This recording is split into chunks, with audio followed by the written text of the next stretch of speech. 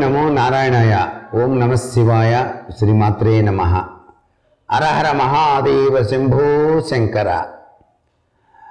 చంద్రశేఖరాష్టకం అనేటువంటిది కనుక ప్రతినిత్యం కనుక ఎవరైతే పఠిస్తారో వారికి చంద్రతత్వరీత్యా సంభవించే దోషాలన్నీ పటాపంచలవుతాయి. ఎందుకంటే చంద్రుడు మానసిక ప్రశాంతతకు తార్కాణం.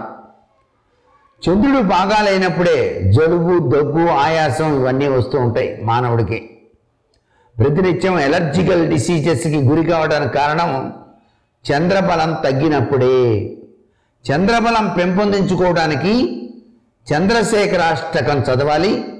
వీలైతే చంద్రజపం చేసుకొని చంద్ర యాగం కూడా నిర్వహించటం వలన చంద్రదోషం పరిహారం చక్కగా జరిగి తుమ్ములు జలుబులు దగ్గులు ఎలర్జికల్ డిసీజెస్ అన్నీ కూడాను త్వరగా పారిపోవటానికి ఆస్కారం ఉంటుంది. ఇది మాకు మహాశివరాత్రి రీత్యా మీ అందరికీ అందిస్తూ ఉన్నటువంటి అపురూప కానుక.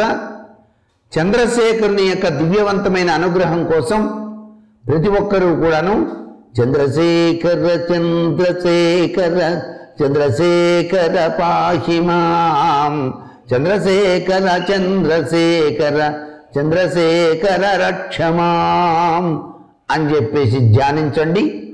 పరిపూర్ణవంతమైనటువంటి ఆరోగ్యప్రదమైనటువంటి మానసిక శాంతితోనూ ఆయుష్ ఆరోగ్యంతోనూ జీవించండి.